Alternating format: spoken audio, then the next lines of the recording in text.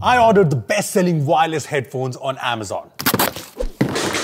This has more than 34,000 ratings on Amazon with an overall rating of 4.1. So before I talk about what's bad, let's talk about what's good. This is the Boat Rockerz 550 and for 2000 rupees, two things stood out to me. The looks and second, the sound. This has 50mm drivers, Bluetooth 5.0 and the sound here is loud, very clear and there's some decent bass too. The audio quality is actually very good and I also like that the battery life here is up to 20 hours on continuous music playback. This also has an aux port, the build is good with soft cushioning and the buttons here are tactile and nice to use. As for the bad, this charges via a micro USB port and takes two and a half hours to fully charge, which is a long time. I also found the headphones to be a bit heavy at 245 grams, which can be a problem if you want to use it for a long time. Look, overall, I think this is good, especially for the sound it offers because you don't get a lot of great wireless headphone options in this price range.